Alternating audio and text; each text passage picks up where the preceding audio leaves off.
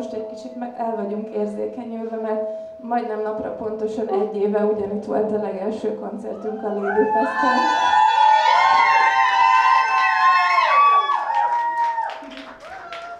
És egy tök jó évünk volt azóta, úgyhogy nagyon jó ide visszajönni.